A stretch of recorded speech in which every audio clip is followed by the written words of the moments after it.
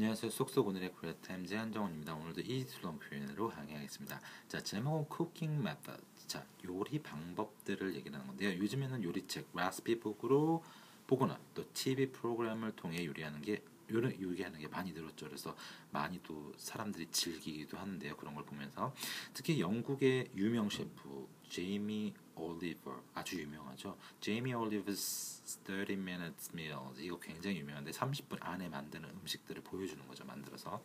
자, 그래서 우리가 이 레시피북 TV 프로그램, 인터넷 통해서 굉장히 많이 접할 수 있는데요. 그럴 때 영어 표현으로 된 것들도 굉장히 많이 볼 수 있습니다. 그래서 영어 단어를 이렇게 마, 어, 우리가 실생활에서 많이 쓸 수 있는 거를 같이 공부하면서 훨씬 더 기, 어, 기억하기 훨씬 더 좋고 자 쉽게 습득할 수 있을 것 같습니다. 자 첫 번째 것부터 보면요, simmer 이렇게 나오는데요, boil down the sauce 이렇게 이렇게 나오는데요, simmer 하면은 서서히 끓이다는 얘기입니다. 자 boil down이 나오는데요, 자 boil은 끓이는 거죠. 근데 down이란 말을 같이 써서 서서히 끓이다, 서서히 졸이다라는 얘기 되겠습니다. 그래서 자 소스를 계속 끓이다, 졸이다라는 얘기 되겠습니다. Simmer the sauce, boil down the sauce 이렇게 얘기할 수 있겠습니다. 자, 그 다음 보면은 blanch the vegetables 이렇게 나오는데요. blanch 하면은 데치다 그리고 뭐 어떤 거를 살짝 이렇게 넣었다 빼는 걸 얘기합니다. 그래서 채소를 데치다라는 얘기인데요. 이 blanch는 희게 하다, 어떤 걸 염색, 아, 이게 표백하다라는 뜻으로도 쓰입니다. 근데 여기서는 이 데치다라는 뜻, 살짝 어디 넣었다 뺐다라는 뜻으로 쓰였습니다. 자, mixed ingredients. ingredient 굉장히 많이 나오죠. 자, 토익에도 굉장히 많이 나오는데요. 재료를 얘기합니다. 그래서 재료를 섞다라는 얘기가 쓰였고요. seasoned food. 자, season 하면 계절말, 계절로 우리가 보통 알고 있는데 여기서는 명사가 아니라 동사로 쓰였습니다. 그래서 양념하다라는 뜻입니다. 그래서 음식을 양념하다. 자, 그래서 seasoned food 이렇게 써였고요. seasoning, ing를 붙여서 명사용을 쓸 때는요, 조미료를 뜻하기도 합니다. 자, 우리가 뭐 많이 얘기하는 일당 쌍피죠. 자, 계절 말고도 아주 많은 뜻으로 쓰이니까 한 번에 여러 가지 단어 아주 학습할 수 있었습니다. 자, 그 다음 보면은 squeeze 이렇게 나왔고요. juice a lemon 이렇게 나왔는데 squeeze 하면은 쥐어 짜는 거, 짜는 걸 얘기합니다. 자, 미국 광고에서 아이들이 많이 먹는 것 중에 그 짜서 먹는 그 과자나 이런 식품들이 많은데요. 그때 굉장히 많이 나오는 게 it 이렇게 it을 붙여서 it 이렇게 굉장히 많이 광고에 나옵니다. 그래서 나중에 한번 광고를 볼 일이 있거나 유튜브나 이런 데 보면 쉽게 한번 들으실 수 있을 겁니다.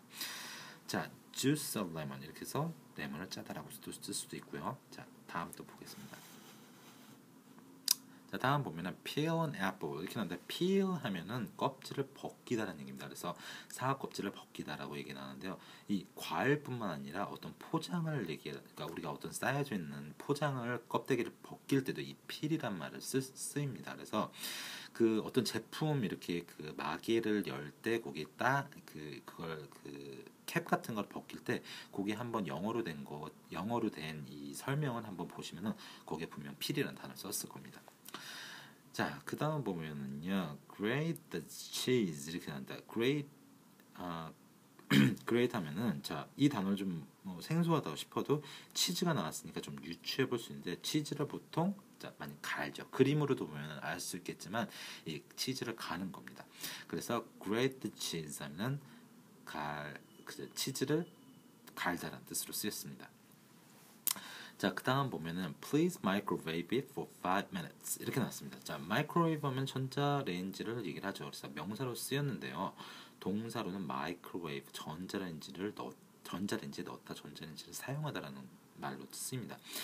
자, 그래서 전자레인지에 그것을 5분만 돌려라. 자, please microwave for 5 minutes. 이것도 마찬가지로 자, 그 뒤에 조리 예를 보면은 레시피를 보면은 자, 충분히 나오는 그런 그 문구 중에 하나가 되겠습니다.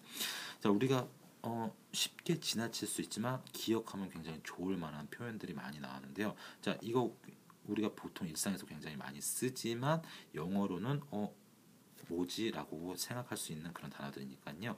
한 번 더 보시고 기억해 보시기 바랍니다. 자, 오늘 여기까지고 다음 이 시간에도 코리아 타임즈로 강의하겠습니다. 감사합니다.